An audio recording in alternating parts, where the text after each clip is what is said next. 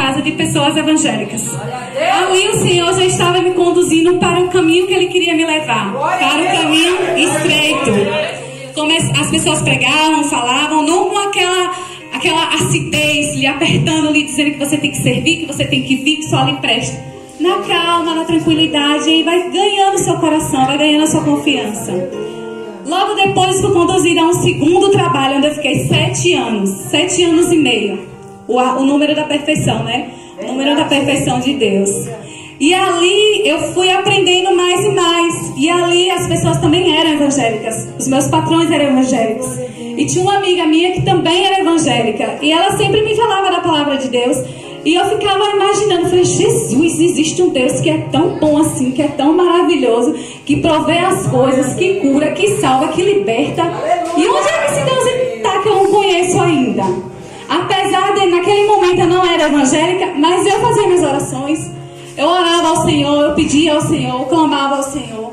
Principalmente pela libertação do meu pai. Porque ele era viciado no álcool, viciado na bebida.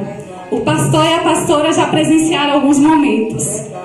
Praticamente o diabo quase conseguiu levar meu pai à sepultura. Porque o, o intuito dele, o trabalho dele era descer meu pai à sepultura. Mas para honra e Jesus, ele não conseguiu. Porque mesmo eu não conhecendo ainda esse Deus maravilhoso que liberta, eu pedia, Senhor, tira meu pai desse cativeiro. Senhor, liberta ele. Porque eu não aguentava mais as pessoas me ligar. Né, eu venho buscar teu pai que ele está sangrando. Né, eu venho buscar teu pai que ele está com corte na cabeça. Está com corte na mão. Eu falei, Jesus.